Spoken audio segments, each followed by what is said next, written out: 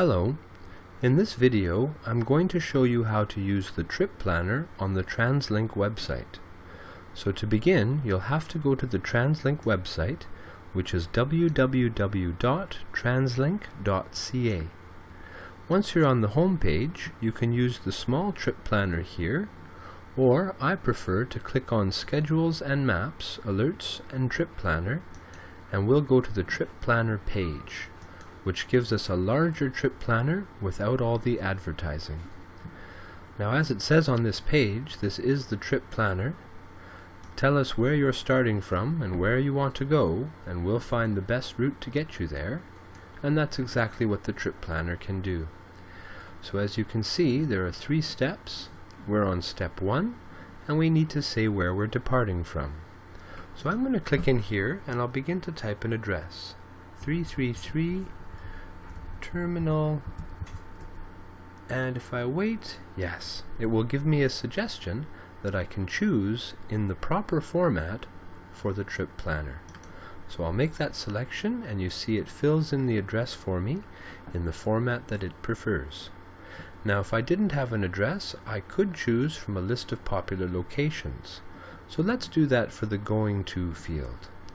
I want to go to Metrotown, so I'll click here select from popular locations, and down below we'll find shopping districts and centers.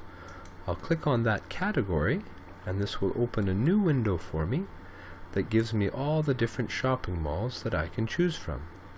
I look through the list and I find Metropolis at Metrotown.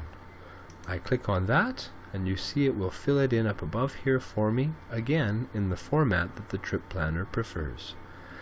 Now that it knows where I'm departing from and where I'm going to, it's time to say when we are going. So you can choose between departure time and arrival time. I'll stay with departure time and let's change that to 11.15 a.m.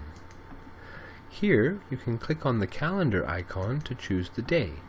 So I'll choose July 23rd, a Wednesday. If you would like, there are some advanced search settings below. For example, if you need wheelchair accessibility or if you want to bring your bicycle with you, I'll just leave it as the default, depart and arrive within 30 minutes of requested time. Now the next step, I click here and this will show you my results. So you can see we've filled in all the information and it gives us a few different trip options. You can see the route you'd be on, when the trip would start and when it will end, the duration of the trip, how many transfers you have to make, how far you have to walk, what the price would be for the adult fare and for the concession fare, and if I want to, for any of these options, I can click on View the Details and see more information. Now I can also choose to short, sort my trip results by the trip time, walking distance, or number of transfers. Generally you'll want to leave it as trip time. Again, you could change these advanced search settings, or you could refresh the routes, or edit your trip plan. If we come a little bit further down below, you'll see that there's no more information for me here. So what I want to do now is I'll choose one of these options, maybe the first one, it seems to be one of the fastest, and I'll click on View Detail.